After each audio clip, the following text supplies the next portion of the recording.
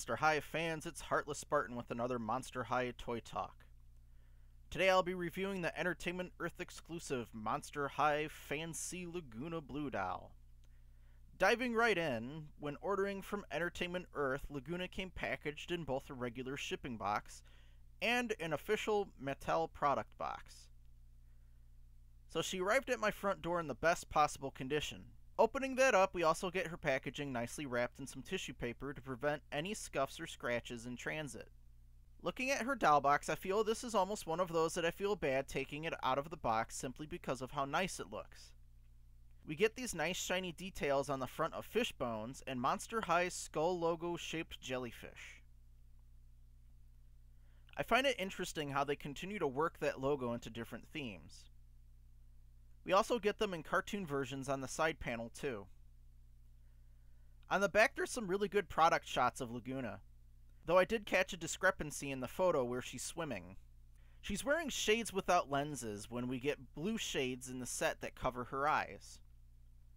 I don't know if the prototype they photographed had shades without lenses or they edited that so we could see her face on the back of the box. Otherwise, I just went, aha, and moved on with my life because it doesn't bother me at all. The only time I would be bothered by it is if a character is supposed to have clear lenses for their glasses like Clawdeen, but Mattel's been consistent in keeping those open so far, so no issues. After taking her out of the box, I'm left with a really nice background. But it has so many holes and some damage from removing the doll that it's not quite worth trying to keep this for anything. I'll move on to the doll and accessories now. So here we have our Fan-Sea Lagoona all dressed up in a lovely reef-themed outfit. We get this initial look at her, but I'll talk about the accessories so I can handle the doll and camera better. I had mentioned earlier that there was something different about her shades. On the back of the box we can see through the lenses so that we can see Lagoona's eyes, but her actual starfish shades are solid blue plastic. Personally, I tend not to like when they come with shades. It feels like a social barrier. I want to see her eyes. They're pretty. Don't cover up the eyes with shades or sunglasses. The only time I like when dolls have glasses are when they're open or transparent, like Clawdeen's glasses.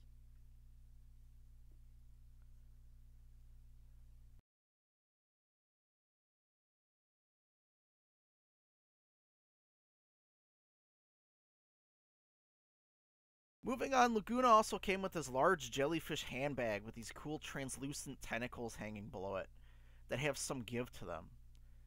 Just be careful about how you store it or bend them, or they'll be bent funny or break off at the connection.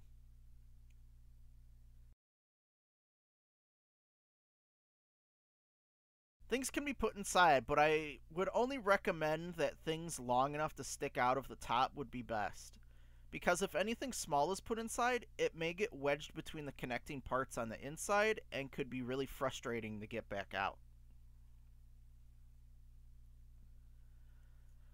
Something to note is that this doll is the first Generation 3 doll that I've unboxed that came with a stand.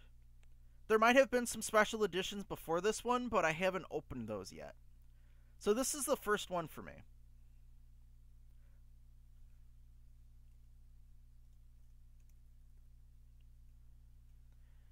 It's a traditional three-part stand that comes in separate parts stored in the bottom of the product packaging. You might actually hear it rattle around in there before you open the box. Nothing is broken, the parts are just stored loose for whatever reason. It's a traditional three-part stand with a modern Monster High MH logo on the base. The stand rod just snaps into the base and the clip slides right over that.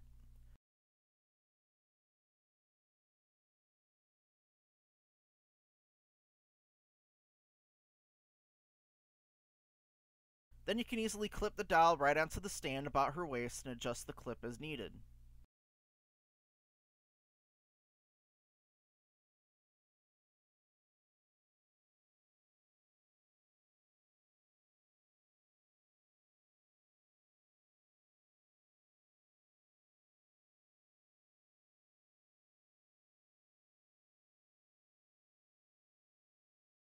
Sometimes, with some dowels, it's easier to put the clip on the dowel first and then slide it onto the base.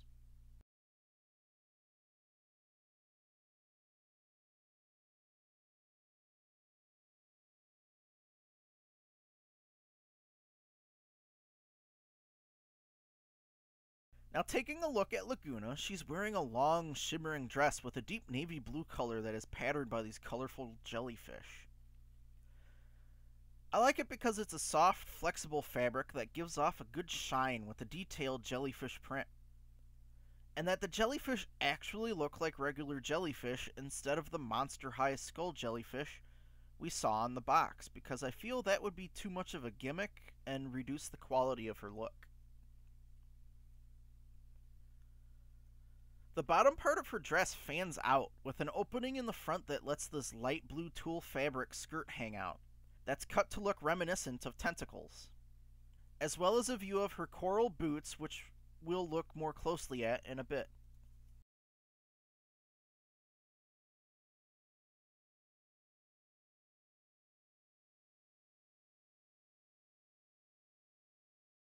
If we look at the upper part of the dress, it is a one piece dress with shoulder straps. But it does have the small opening around her waist that shows off a bit of belly. Looking closely at her belt and necklace, they're made up of nautical rope, seaweed, and stringed pearls, with a few critters attached. Her necklace appears to have a fish hook as a pendant.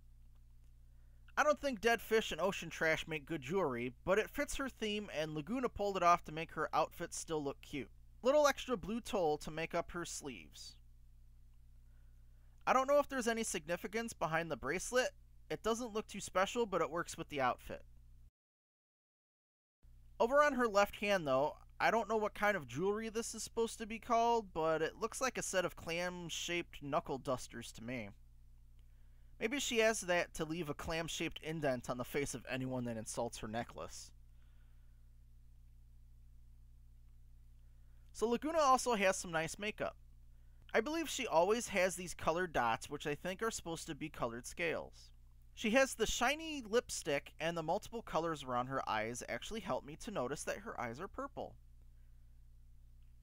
She also has a bit of glitter around her eyes, too. As I said before, why cover her eyes with the sunglasses? Her eyes are pretty.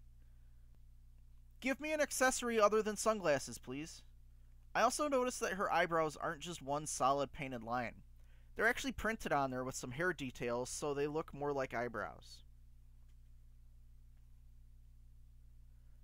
Speaking of her hair, it kind of hides the seahorse earrings she wears on either side.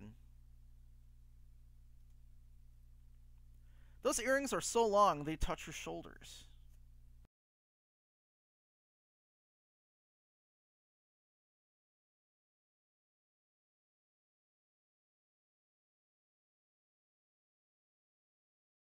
Now, of course, she has this really long braid that I find quite cute coming down one side.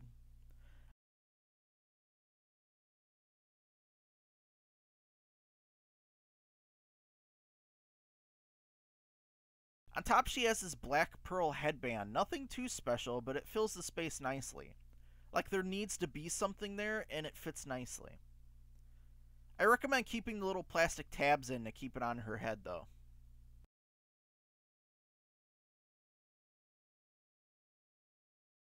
She has some long blonde Rapunzel hair going on here, but it's not all blonde.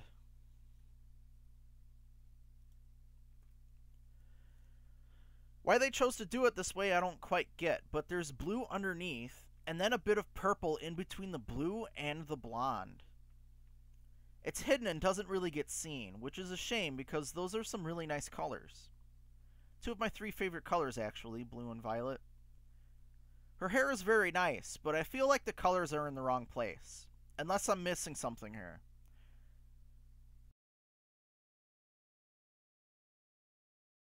They stick out a bit, but might be hard to notice. Oh well. Oh yeah, I did like that they made Lagoona this soft pink color. It's really cute. And they made sure that her fins would stay on too. I heard that was a big deal for the Monster High alumni out there. She has some on her forearms and her legs.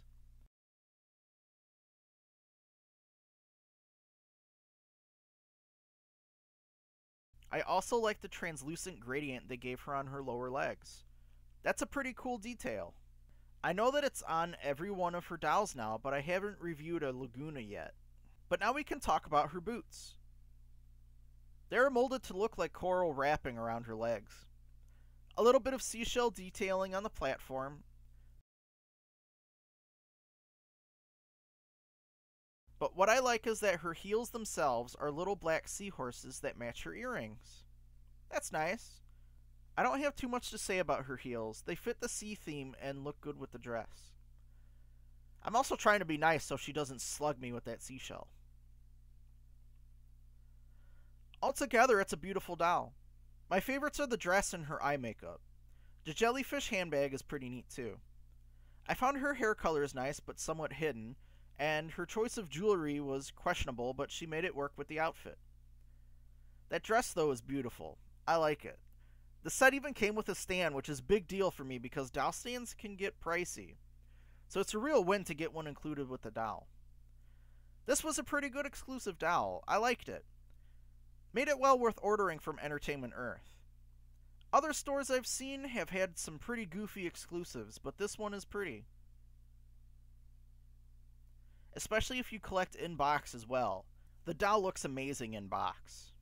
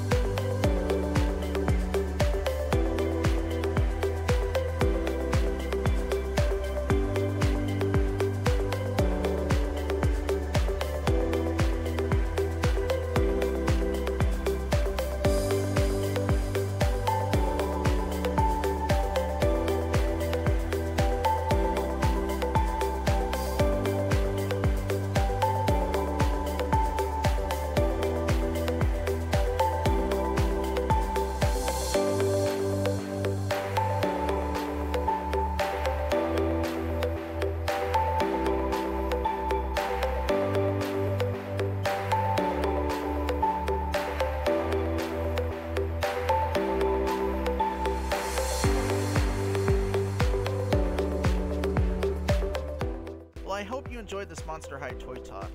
Remember that you can support the channel by liking the video and subscribing for more. I also have my Heartless Spartan Facebook page where I post updates, tidbits, and links to pre-orders and restocks when I find them. So be sure to follow over there to check that out. This has been Heartless Spartan. Thanks for watching. I'll see you next time.